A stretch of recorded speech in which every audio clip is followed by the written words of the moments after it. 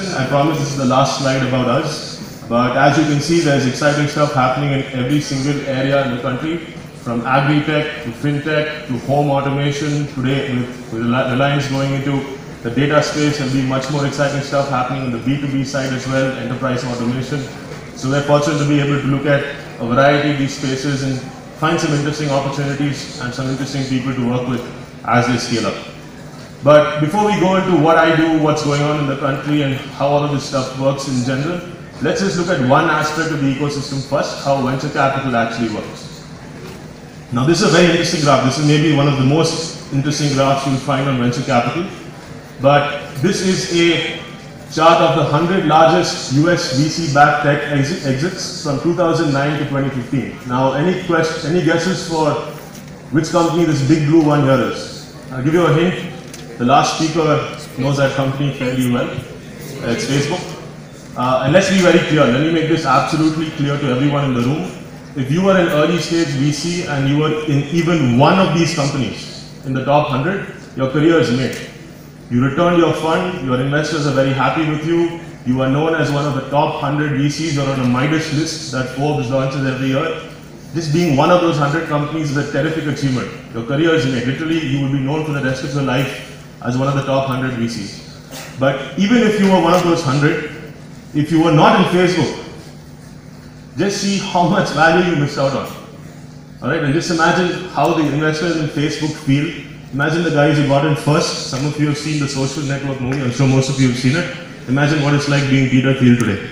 If you can put this graph up first, and that's his resume basically, that, that's his exit, right? So this is why venture capital captures the imagination of most MBAs all over the world, and today now increasingly more and more engineers. It's because if it works, if you make it work, if you understand the math behind this, if you understand the math doesn't apply all the time, and if you figure out how to make it to the top 100, you make a lot of money.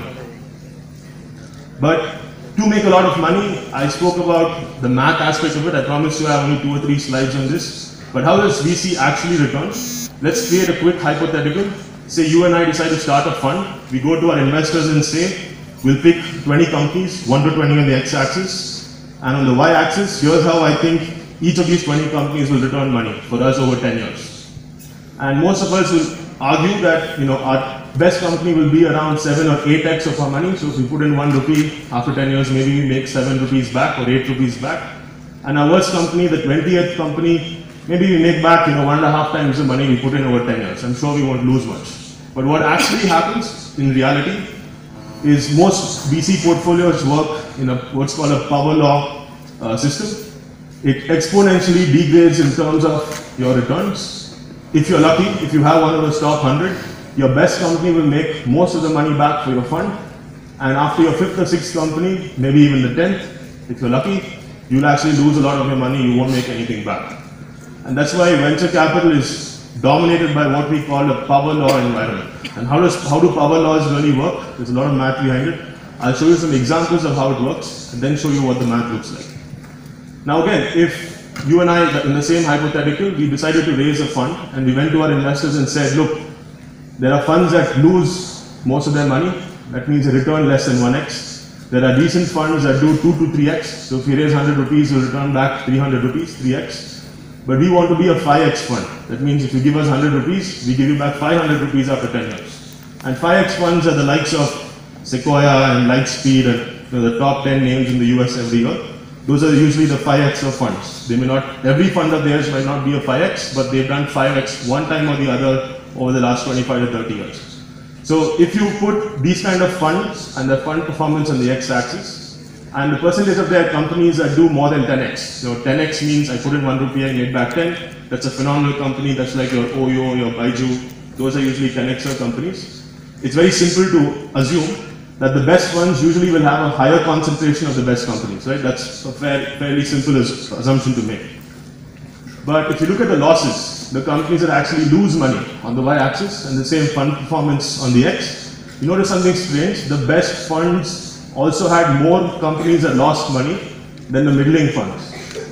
So if you want to be a middling VC, I mean, you just want to make enough money to keep the lights on, you'll stay around here. You'll, you'll have some hits, you'll have maybe some misses. But the best funds, this is what trying to hit a home run means. You swing and miss a lot.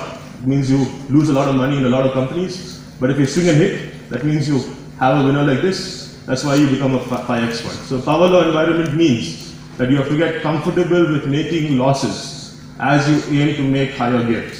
It's a very strange environment, but that's what dominates venture capital today. And what does that mean for investors in VC funds? Now, as a VC fund ourselves, we've gone to four or five countries in the world and we've pitched to investors to hopefully get a part of their allocation towards our asset class in India.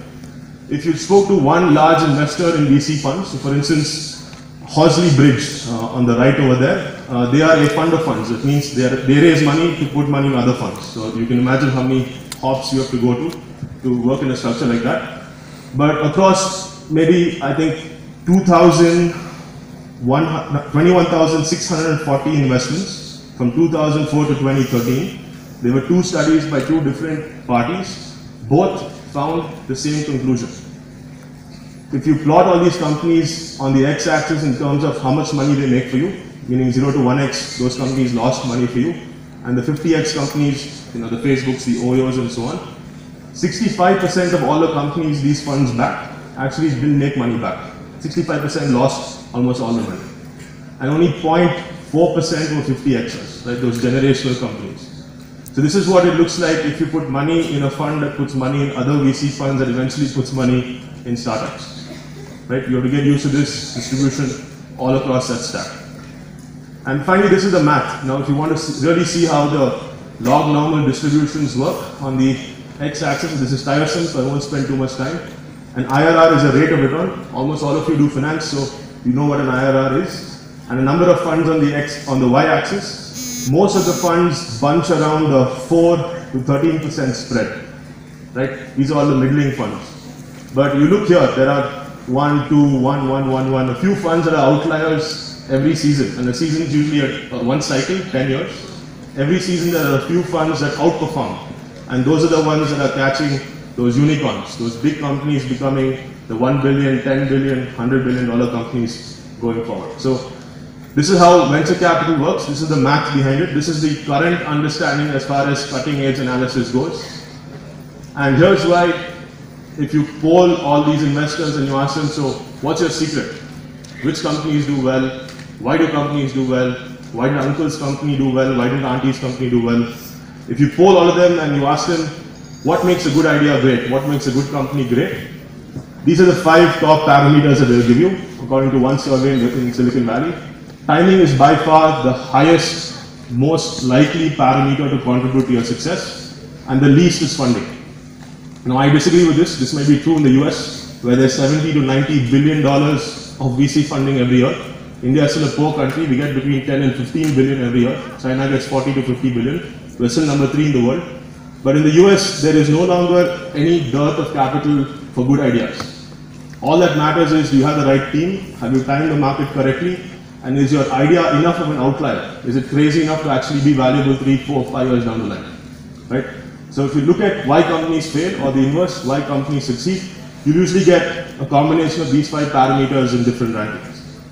And of course, lastly, if you ask the best investors, SV Angel is a very well-known early stage angel network in, in, in the US. And you ask them, what do they look for? When you see a list like this, uh, I'm sure most of you in the back can barely read this, then you know there's no real rule to this. There really no one knows the secret. Everything here is what you would normally look for in a friend, in a girlfriend, in a boyfriend, in, in a marriage candidate, in your neighbor, depending on where you live. But nothing here stands out as something that you wouldn't have thought of if you were asked to put 100 rupees in venture capital tomorrow. So the answer here is very simple. The math is crazy. It's completely not linear. And very importantly, there are no rules to what makes next big company great. So how large is venture capital? In spite of it being so difficult, why is so much money going to this? Let's see first how much money is going to this.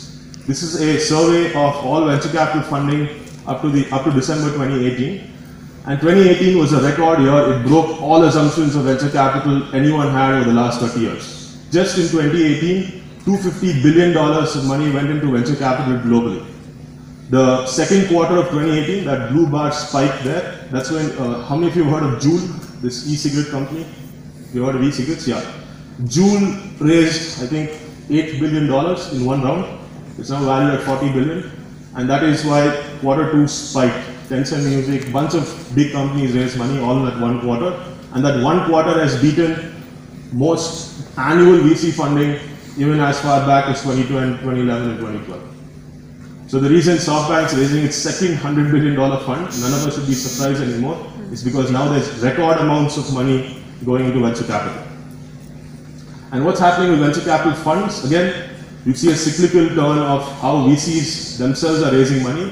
But today, every year, over the last five years, there's been more around 450 to 500 new funds raising money every year across the world. So it's no wonder there's so much money going into this asset class.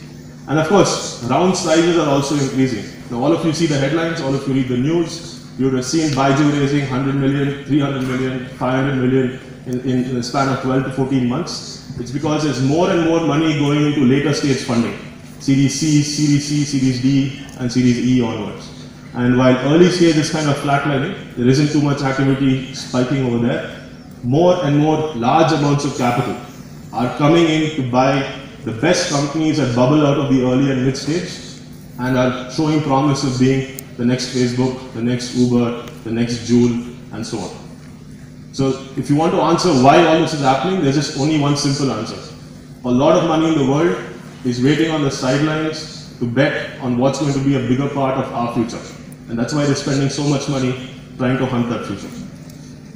And of course, if so much money is going in, is money coming back out? Are funds actually making money? This is a good study of exits. You can see a lot of money has gone into early, early, mid, and late stage. But in terms of IPOs also, you have seen the news, Uber went IPO, WeWork is going IPO soon, might not be great, but it's going IPO anyway. More and more money is being made from exits of these big companies. They're not just staying private forever, they are going public. So that's why the full cycle is turning, and that's why more and more money is rushing in with confidence, with the assumption that it will also get turned seven to eight years down the line. And today there's a strange phenomenon in VC capital. There's something called a unicorn company. It was called a unicorn because they were so rare. A unicorn company is basically an unlisted or a private venture-backed tech company. Tech is in double quotes, of course, valued at over $1 billion. Today in the world, as of last month, there are 360 unicorns in the world. 33 of them are in India. India has the third highest concentration of unicorns after the US and China. US has crossed around 140, China is going to cross 100 soon. So this has never happened before. Never in history, never in our economic history as a species has so have so many companies so valuable been private for so long and are now comfortable staying private for longer. And why is this important to all of you? Number one, of course, these are great companies to work at to make a quick buck. But more importantly, if you are shareholders of the public markets, this is a problem for you because the next big asset value creators are not being made available to you. As shareholders in the BSE, in the NSE, in the NASDAQ, wherever you might be investing, you don't have any chance of getting a piece of these companies, a share, eh, uh, even one share of these companies, unless you enter the unlisted space. And that's why so much money is entering the unlisted space or the VC space or the private equity space because these options aren't going public. These shares are not being made available to the public and the public does not have an opportunity to create returns for itself from all of this value being created.